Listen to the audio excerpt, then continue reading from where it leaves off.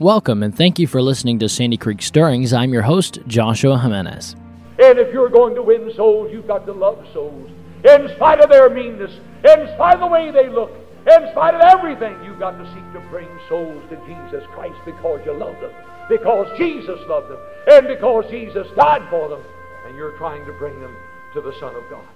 The Bible says in Psalm 84 11, my last verse, For the Lord God is a sun and shield. The Lord will give grace and glory.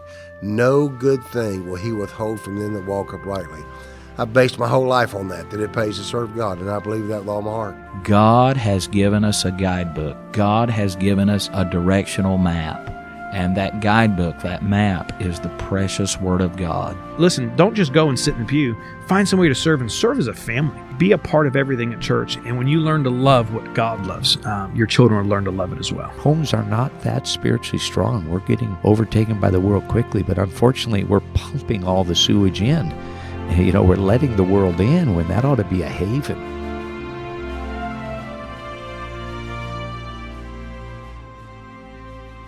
You've heard me say it before, and I will say it again.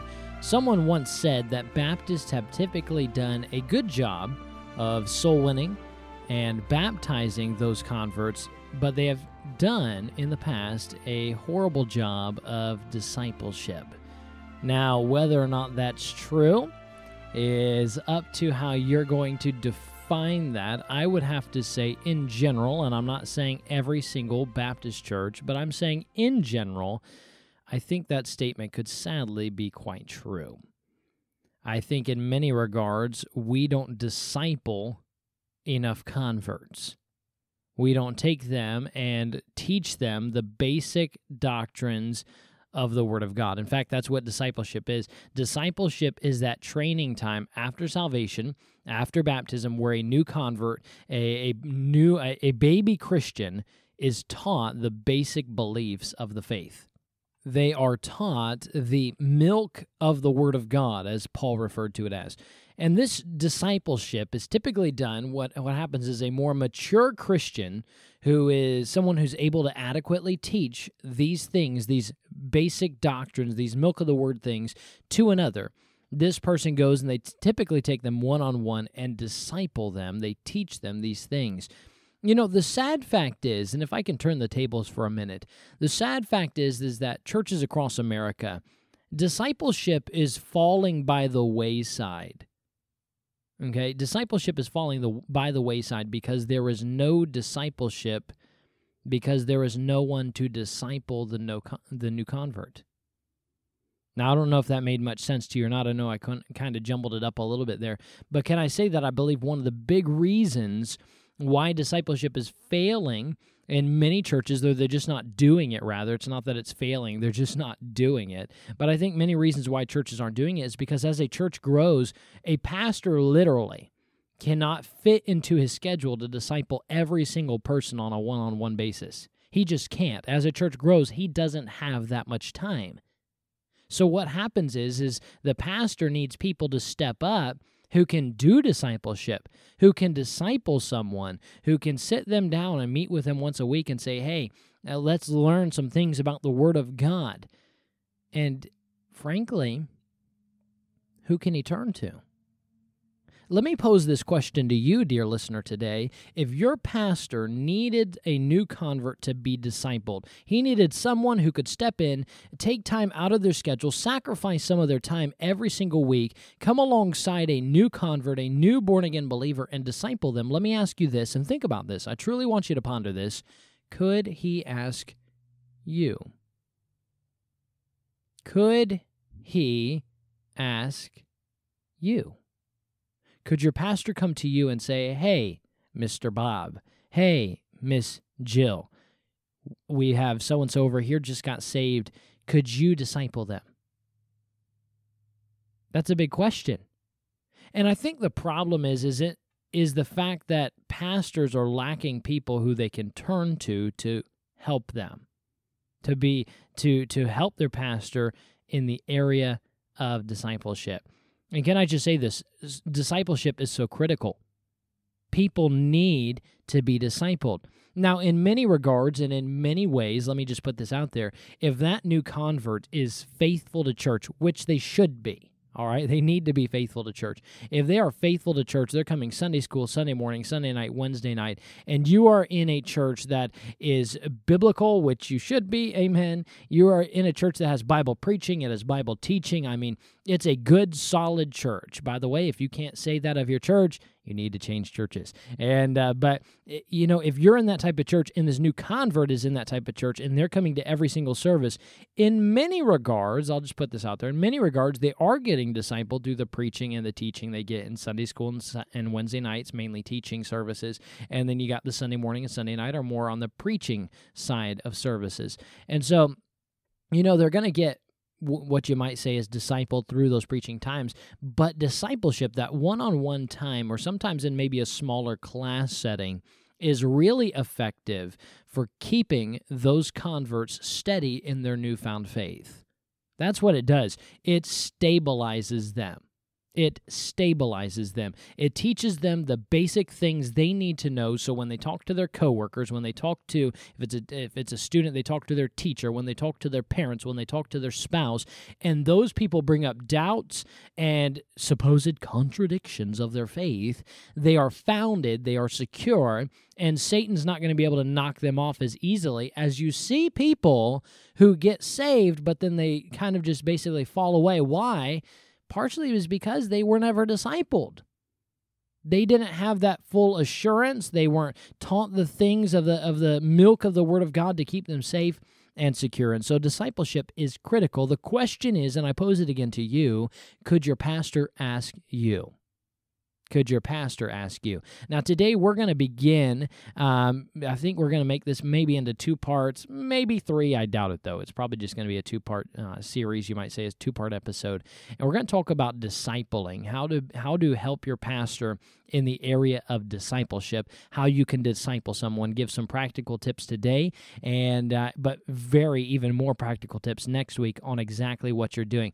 This week, I want to talk about something, or in not this week, but in this episode, we'll release the second part a couple episodes from now.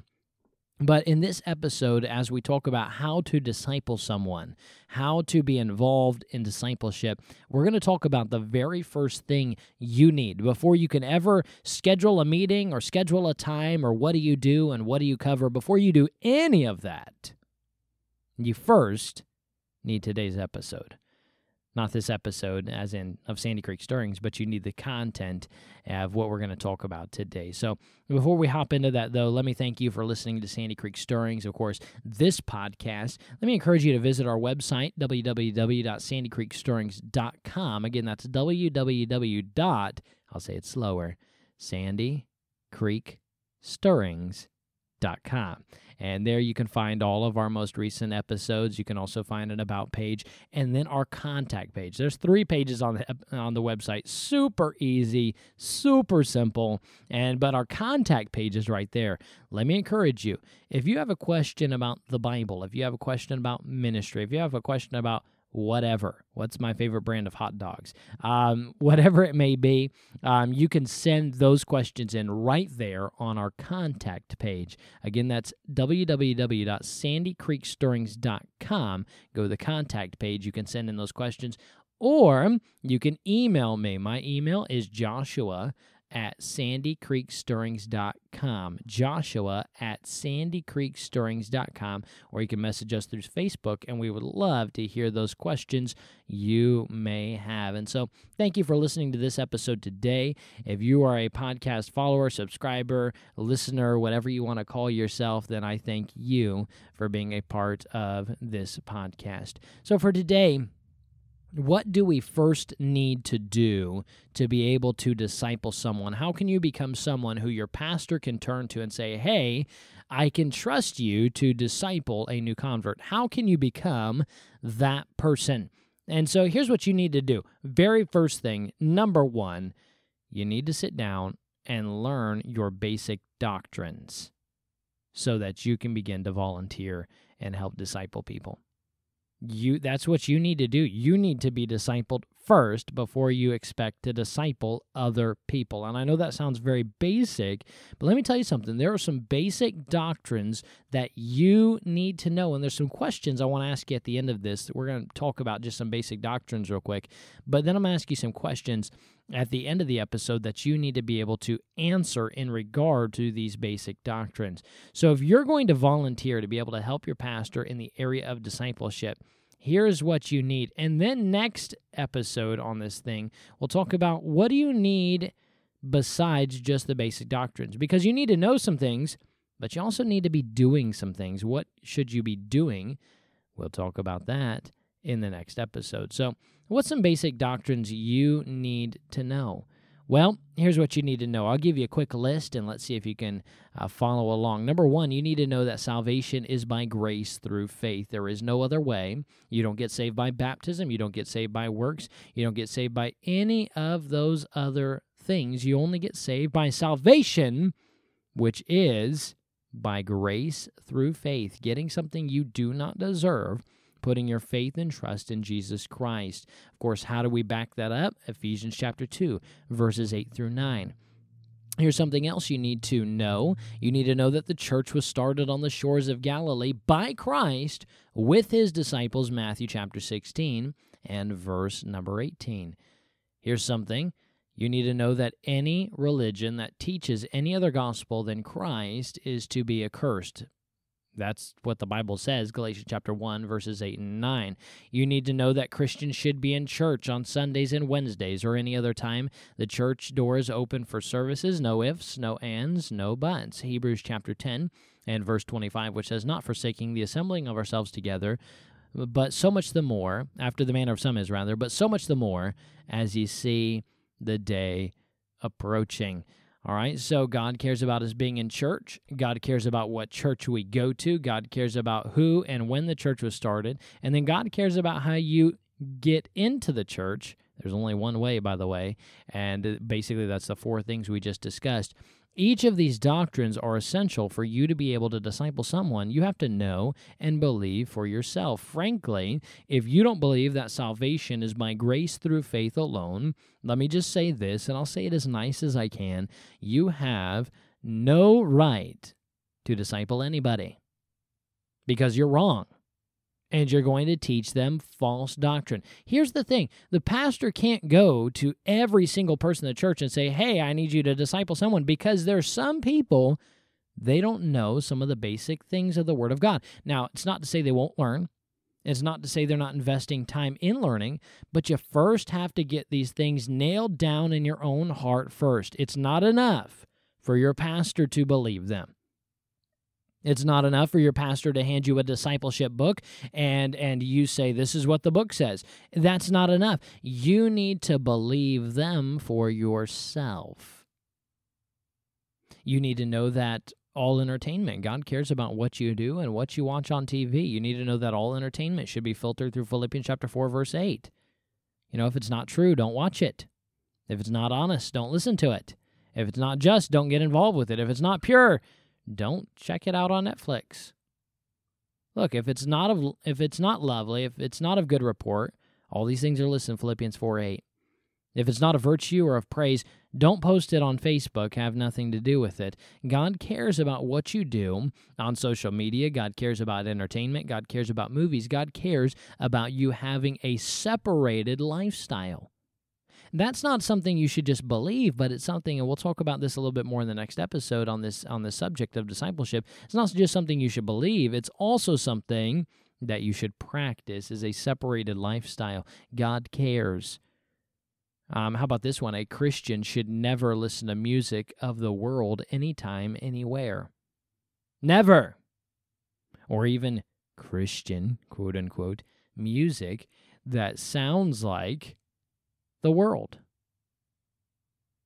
That sounds like the world. Let me tell you something. We have a bunch of Christian music artists right now playing music that, let me tell you something, they're producing music that is absolute filth and it's absolute garbage. I, I somebody had a song they, they wanted me to check out. They wanted to know my opinion, and I listened to it. And I tell you what, it was absolute garbage. It was by a, a Christian group. And I tell you what, when I worked in the secular world, um, I managed a hardware store for four and a half, almost five years. When I did that, the the boss had restrictions. We could only turn the music to certain stations. So for basically four and a half years, it was country music every day. So basically, I was put into that country music environment for four and a half years. I know what Christian, I know what, no, I know what country music sounds like. And let me tell you something. When you have a Christian group that puts out music that I can't tell the difference between it and a country song, it ain't Christian. It ain't. That's a good good term to use. But let me tell you something. If you are going to disciple someone else, you need to understand that the fact that God cares about you being separated from the world, both in your entertainment, in your music, and it, hey, can I just put this out there? It doesn't matter if you put Christian in front of it or not. Does not matter if you put Christian in front of it or not. If it's worldly, it's worldly, period. God cares about your your separation in your entertainment and your music, but then God cares about your separation in your appearance as well. God cares about that. Um, 1 Corinthians chapter 11, 14 says a man ought to cut his hair to look like a man. God says that to expose the thigh is nakedness. That's found in uh, Exodus chapter 28, verse 42. God says there should be a modesty and, and, distinctness in apparel for men and women. There's never a time for a man to put on a woman's garment. There's never a time for a woman to put on a man's garment. They are to be separate 24 7, 365 days a year. Deuteronomy 22, 9, 1 Timothy chapter 2, and verse 9 as well. So God cares not only about your separation at home and in your music and in your entertainment, God also cares about your appearance. Those are things that you are going to have to look out and settle within your own heart before you begin to disciple somebody else. You need to understand the reason why sodomy is an abomination. Leviticus chapter 20, verse 13. You need to understand that a, a man and a woman who are not married should never touch sensually. 1 Corinthians chapter number 7 verse number 1. Uh, there should be a, a separation from other churches who do not believe Christ is the only way to heaven or do not hold to the doctrines that have been handed down to us and have, you know, we should have no fellowship with those churches. These are things you're going to have to learn. Proverbs chapter 23, verse 29 and 32 cover this idea that there should be no contact with alcohol of any kind in any form. It is the duty of the church to reach souls for Christ, Mark 16, 15. Um, you should know about tithing, Malachi chapter 3, verse 10. Every Christian should give 10% of their income to Christ through the local church. Uh, Genesis chapter 1, you should know that the world was created in literally six days. You should know that the rapture happens before the tribulation, Second Thessalonians chapter 2. And there's some other things we could list, but I'll stop there because here's what you need to understand. When you are discipling someone, they are going to have some questions about some very basic things. When the rapture happens is a very basic question. You need to know the answer. Now, does that mean you're going to know in discipling someone? Does that mean you're going to know the answer for every subject and every topic that comes up? No, absolutely not. Look, I run a podcast, and this is episode number, what is this? Episode number 141, I think. I have no clue about some things. I'll tell you what, uh, my preacher asked me, Hey, I want you to start studying out this and I want you to teach on it in a couple weeks. And I have, like, I've barely ever heard of it before. And I have no clue about it, but I'm going to begin studying. And here's the deal we're going to ask this question here just a minute but you need to learn to study things out. And so that doesn't mean that you're going to be a know it all and you have the answers to all the questions. But here's what I'm trying to get across in our point today you need to know some of the basic doctrines of the Word of God. So here's the question How do you learn those? How do you learn those basic doctrines of the Word of God? Well, there's a couple ways. Number one, if you've been discipled, you will have learned them. If you have been discipled, you will have learned them. If you have never been discipled, it would be a good idea to go to your pastor and say, Preacher, would you mind having someone disciple me? I know I've been in church here for a little bit, but you know, I've never been discipled. There's still some of these very basic doctrines that I just don't know.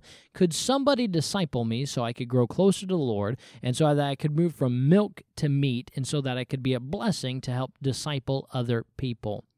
I think that's very important. You need to be discipled before you disciple someone else. You need to be taught those basic milk of the word doctrines before you uh, go and teach somebody else. The second thing is is you need you need to be under the spout of the preaching every time the doors are open. That's another way you'll be taught these basic doctrines. If your pastor is a good pastor, over time he will be teaching these doctrines in one way or the other. You'll be learning them. And so it's very important that if you want to be involved in discipleship, you learn these milk of the word doctrines. Now, I have a couple questions for you as you're pondering this idea of discipling somebody else. Number one, my question is Do you know what you believe? Do you know what you believe? I want you to very carefully listen to how I phrased that. I said, Do you know what you believe? I didn't say, Do you think you know what you believe? But do you know what you believe? Sadly, there are Christians sitting in churches across America who think they know or they they don't have a true in-depth seated knowledge they know this is a fact but more of I know this is my opinion. I know this is what I think. Let me tell you something, that's not what matters. You need to know these things for yourself. If you doubt, let's just throw this out there. If you doubt that salvation is by faith alone, if you're struggling with that and you say, "Well, I think that's the way it's supposed to be." Well, that's what the Bible says, but I'm just eh. Well, here's what you need to do. Before you disciple anybody, you need to settle that for yourself and it needs to be something you know you believe. Now you may say, I don't know all the details and I don't understand it all. It's um, you know maybe the Trinity. You say, I know the Trinity. I know I believe the Trinity. Um, do I understand it all? No. Can I explain it all? No but I believe it. And that's going to be the key. There may be some things that you may not be able to explain, you're still learning about. That's fine. But I'm talking about some of these basic milk of the word doctrines. Are they things that you know you believe, or are they things you think you believe? You're still trying to settle on them. If that's the case, I would settle them before I try to disciple anybody else. Because here's what's going to happen the devil's no dummy. He's going to use anything he can. So in discipleship, he's going to put a question in the thought of the person you're discipling. Hey, ask them about, you know, we just mentioned um, salvation by grace and faith alone. He's going to put a question into that person, and he's going to say, hey, you know, why don't you ask them what they believe about salvation by grace through faith? And they're going to ask, you're saying, well, you know, uh, the Bible says, you know, and I'm just, I'm really not sure. I'm struggling. That's not going to work. You have to settle it. You have to know what you believe. So it's very important. Maybe go through this list we just talked about today. We also talked about a basic doctrines that you need to know in the very first episode of Baptist history. Very first episode of Baptist history, some basic doctrines. Let me encourage you to go back to that lesson and go through and learn those and say, you know, do I believe these for myself or is it just something the Bible says, but I don't actually believe it? That's so critical for you to do before you try to disciple someone else. Second question I want to ask you is your answer based off of Scripture or off of man? Is your answer based off of Scripture or off of man? So, in response to, let's keep going with the example we've used for most of the day today. But let's say the person you're discipling all of a sudden asks you, So, why are we saved by grace through faith and not works? Is your answer going to be, well, I heard on BBN the other day, you know, the Bible Broadcasting Network. And, uh, you know, is that going to be your answer? Well, I heard on BBN the other day and so and so said this. Or is it going to be the Bible says this here in Ephesians chapter 2? Hey, uh, can I just throw this out there? I don't care what BBN says. Thank you for listening to BBN, the Bible Broadcasting Network. I don't care what BBN says. I care what God says. I care what his word says. I want to know what his word says on the topic. I don't care what preacher so and so said, or this guy over here on YouTube said, or, or this guy wrote on the blackboard on YouTube. I don't care. I care what the Word of God says. And here's the thing whatever answer you give, you need to be able to back it up with Scripture. And you say, well, Josh, does that mean, you know, when I'm sitting down with somebody with discipleship and they ask me a question and I can't remember the verse, does that mean that I, I can't disciple somebody? No, I'm not saying that. There will be times where you're like, you know, the verse says this, but I can't remember the reference. There will be times like that. Look it up on your phone, do something, but learn to study out those answers, but base them not off of your opinion or what you heard, but what the Bible says. Uh, can can I just go back and, and look at something I just mentioned? I don't care about your opinions either. And your opinions don't matter. If that person says, Why is salvation by grace through faith and not by works? You shouldn't say, Well, my opinion on that topic is, eh, you messed up. That's not what it's supposed to be about. You should respond with, Okay, let me answer that. Here's what the Word of God says. Here's what God says on the topic. Here's what God would answer that question with. Let's look over here. And maybe they ask a question and you don't know the answer. And you say, You know what? That's a very good question. Honestly, I don't know. That's a very good question, though. You know, why don't we both go on Sunday and ask our pastor? It's a great way to handle it if you're not sure or can't remember the scripture passage. But let me ask you this knowing what you believe, are you basing it off of scripture or are you basing it off of man? That's something you need to settle in your heart before you t- decide to try and volunteer for discipleship. Number three, do you study out answers for what you don't know? Do you study out answers for what you don't know? Let's say you want to be involved in discipleship and you say, that's something great, you know, and I believe salvation by grace through faith, and I believe in baptism, and I believe in all these different things, but you know, I don't know anything about the rapture. I don't know when it's supposed to be, what's going to happen. Well, let me ask you the question why don't you just study it out? Why don't you just go ahead and learn it? You know what holds back some people from growing more is they're not willing to put in the work and effort to learn for themselves. And so it's very important you learn to study it out. There's many different things you can do to study out a topic. A good one is ask your pastor. Um, another one is to look up that word. Maybe um, look up, you know, if you're going to learn something about tithing, look up tithe in the Bible and read every single passage about tithe and learn and study it out and understand what the what the Bible says about it. That's a great way. You know, um, maybe if you heard a, a preacher preach on the topic, you can ask him. But it's very important to notice not what man says, but what the Bible Bible says. What the Bible says. Learn to study out your Bible and learn some things you don't know. And then here's the fourth thing, and we'll finish up for today. The fourth question I want to ask you before you start discipling someone is Are you bold enough to tell the truth of what you believe when faced with the question? Are you bold enough to tell the truth of what you believe when faced with the question? You say, What do you mean? Let's say that the new convert is a guy, man, and he's got long hair down to his shoulders.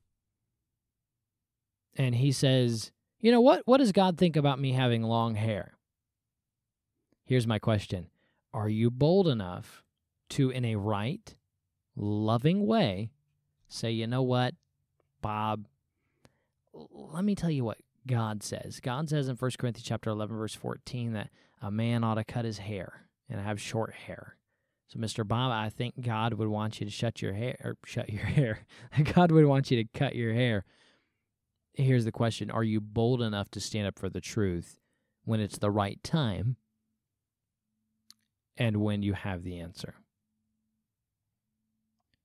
Are you bold enough to answer a question with the truth or are you going to back away from it? Because frankly, there are some people who they're going to back away from that. They don't like confrontation to the point where they would say, "You know what, Bob? I don't think it's too long."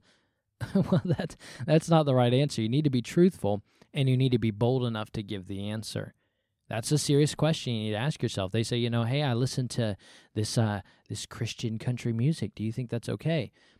Are you going to be bold enough to answer the truth? Are you going to be bold enough to answer the truth. And so those are the four questions I wanted to ask at the end of today's episode. Do you know what you believe? Not think, do you know what you believe? Number two, is your answer based off of scripture or off of man? Number three, do you study out answers for what you don't know? And number four, are you bold enough to tell the truth of what you believe when faced with a question? So those are some things you need to get in line. You need to learn exactly what you believe, some of the milk of the word doctrines. You need to know them and you need to be able to back them up with scripture. And then you need to make sure you know them. You need to make sure you can base them off of scripture, what I just said. You need to make sure you start studying things you don't know, and then learn to be bold enough to always tell the truth.